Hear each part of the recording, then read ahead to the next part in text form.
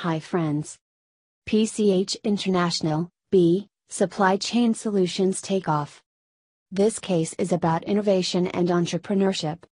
This is an update to GS61, describing developments at the company through 2011, including a major acquisition, distribution in China, and an initiative to cultivate startups that might grow into future clients.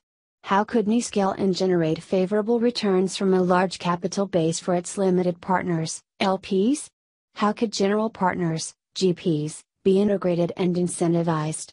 How could the bicoastal structure be sustained over the long run? This is an update to GS61, describing developments at the company through 2011, including a major acquisition, distribution in China, and an initiative to cultivate startups that might grow into future clients. Get your PCH International, B, Supply Chain Solutions Takeoff Case Solution at thecasesolutions.com.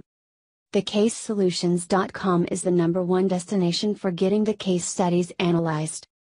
Thanks for watching this video.